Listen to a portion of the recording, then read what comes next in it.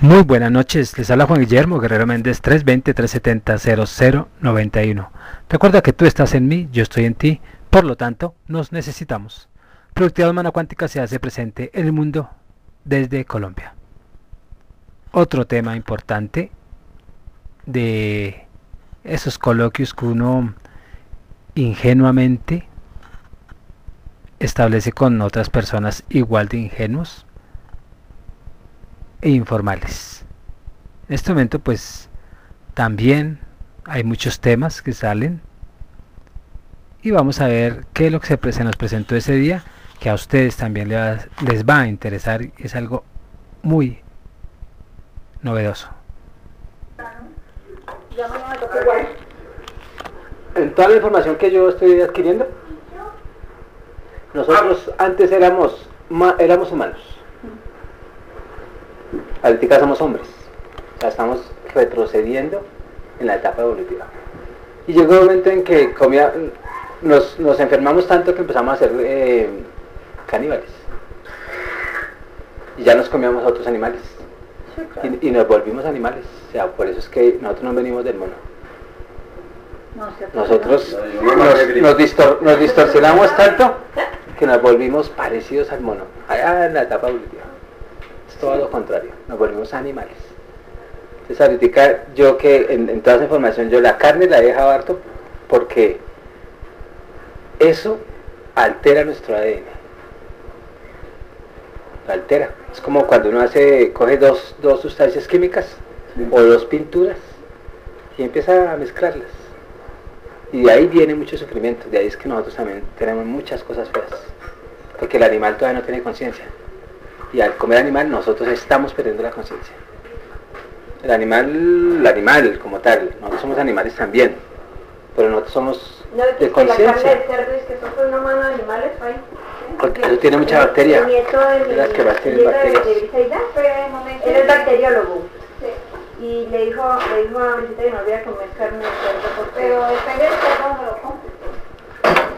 Entonces yo estoy rompiendo con todo lo que me enseñaron. Y hay muchos que sabemos eso.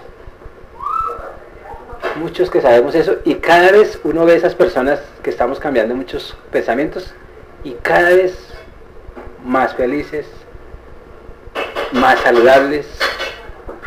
Y el que siga con este sistema está muerto en vida. Este sistema está inventado para que nosotros no nos queramos ni un pito. El sistema que, que dice...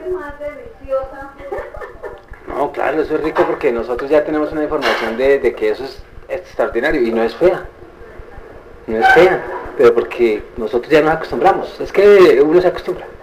Sí, todo, todo es costumbre. Entonces ahorita la gente está matando a las esposas, la gente no da, no da explicación. Eso viene de muchas cosas, del sistema, de las mismas carnes, porque eso viene con violencia. Y uno coma, metiéndose violencia a su cuerpo instruyendo uno a sus células para, para, autodestruirse. Entonces, la carne no es mala. Pero mientras que nosotros creamos eso, seguiremos en las mismas. Y yo, a mí me ofrecen de vez cuando un pedazo de carne, yo me como. Pero tengo conciencia de lo que me estoy comiendo. Entonces, como que transmuto esa información. Cuando llega la conciencia, uno se cura. Es lo que yo he comprobado. Pero si uno no tiene conciencia. Claro que no. Porque es que el chip es muy grande. Ese chip, ese chip, ese chip delicioso, de rico. Pero ese chip lo metieron hace cuántos años, ¿cierto?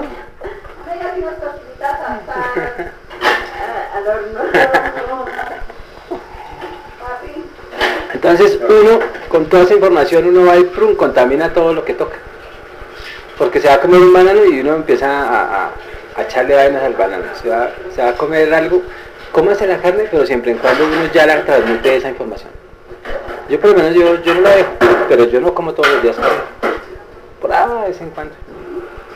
Y si me dan una casa, y si, veo que es poquito, pues me lo como porque ya no como carne. Ya no me da tanta hambre. Y, hasta ahora la dieta del manito de eso lleva hasta ahora cinco días. Pero permanezco. Yo no y no me da cansancio. No es que uno, de, uno gordo se cansa, le pesa todo, todo es diferente.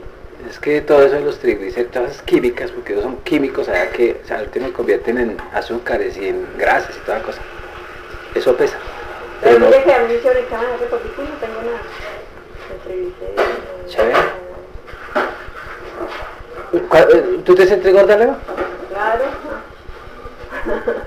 Hay explicaciones para todo eso. Inconscientemente uno se está protegiendo de algo. Y uno sube de peso. Esa es la- una de las razones. Mire, yo una vez me fui al médico y me mandaron dieta que al comer ensalada y me pegó una engordada, pero Y las mejores dietas no es dejar de comer. no, no, no. O sea, comer ensalada, comía carne o algo de, algo de, de proteína. Y, y arroz. Comer plátano asado, y, pero me pegó una engordada terrible. Y entre más uno se centre en, en el peso, pues más engorda también. Uno debe estar fresco como es. Uno debe estar tranquilo como es. Si, si quiere bajar de peso, acéptese como es uno. Porque el inconsciente está pendiente solamente de la figura. Entonces cuando uno ya supera esa, esa prueba, automáticamente, como ya no hay preocupación de la figura, entonces ya el, órgano celular empieza a trabajar bien. Eso es lo que yo he comprobado. Sí. No es mí, porque yo nunca he sido gordo. Entonces, diga, pai, ¿usted cree que? No, tampoco. Simplemente es no estar no tildándose de lo que uno es. Cuando uno se tilda es porque uno no está contento como es. ¿Cierto? Se señala. Porque, no sé, ahorita venía yo por allí y había una sardina linda que pasó. Y yo volteé a mirarla. Y me, de- me- lo primero que se me vino fue cómo nos han condicionado. ¿Cierto? En las, en las propagandas y todo. Que ese es el cuerpo perfecto. Entonces yo, eh, cuando la vi yo dije, cómo nos han enseñado que eso y que es perfecto. Y todos los cuerpos son perfectos. Ha condicionado tanto que como no soy como esa flaquita, entonces yo, yo, ¿cierto? Yo no soy así, yo, yo no soy anormal, yo no me quiero, nadie me quiere, todas las cosas. Ahorita que yo venía, lo primero que pensé es cómo nos enseñan solamente que eso es feliz, eso es, eso es la belleza. Todo es bello, todo lo que existe.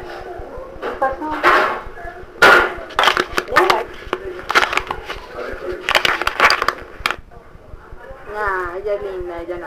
Es igualita, igualita. Es que mis la trajeron ahorita, la secuestraron. Ella como tiene los pequeños entonces la es envidia. Me hacen más feliz. Te cuento que yo estoy muy contento con, con toda la gente que, que estoy haciendo es lo que hago. Porque a mí me dan vida, ustedes me dan vida, ¿Qué le dije? ¿Qué le dije yo a usted? Ustedes me dan vida. Que íbamos a ir nombre de un señor que yo no sé qué, que hace lo de la, lo hiciera, como un psicólogo. Eh, mm, tengo eh, cositas de psicólogo, pero no, pero sí tiene que ver con, con el psique, que es el alma. O sea, trabajo el alma y automáticamente el cuerpo se trata de equilibrar en muchas cosas. Eh, hay cosas que uno no, no identifica Mm, mm, porque no me lo dijeron y hay otras que se expresan en el ejercicio. ¿Qué más te dijeron? No, no, no, me estaba contando lo que... le ¿La experiencia? Y una experiencia sabrosa, yo la veo más feliz. Ha cambi- cambiado, o sea, ayer estuvo un poco como... Acuérdense de la cuarentena, ¿no? No es contar 40 días, no. Sí, tú dices ya después del 41, ¿qué pasa, no? Por la mañana estuvo bien acá, pero por la tarde ya estuvo un poquito como retraída. Pero ya hoy amaneció otra vez contenta. No, y en otro momento podemos trabajar los altibajos. Sí. Porque es que yo solamente trabajé con ella unos... Lo volteé a mirar. ya le tiene miedo. Yo sola-. Yo solamente trabajé con ella lo que ella me alcanzó a decir y lo que yo escasamente... Sí, porque también es muy poquito tiempo. O sea, sí, son, No, tres yo, horas, yo- pero... yo me demoro harto. Yo, yo pero- con personas cuatro días, cuatro horas muchas veces. Con un- hay personas que me duró un día. O sea, según, según el- el- el- la persona.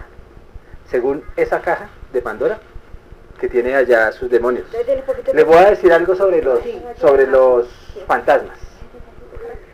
Los fantasmas los crea uno.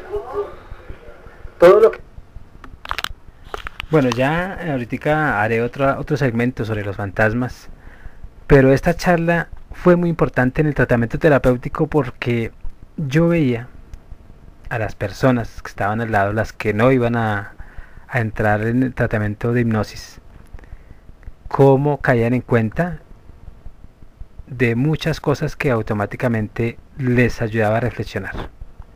Y en últimas, todas las personas vieron el tratamiento por hipnosis. Y también fue un éxito. Se despide Juan Guillermo Guerrero Méndez 320-370-0091. Recuerda que tú estás en mí, yo estoy en ti, por lo tanto nos necesitamos. Productividad Humana Cuántica se hace presente en el mundo desde Colombia. Muchas gracias.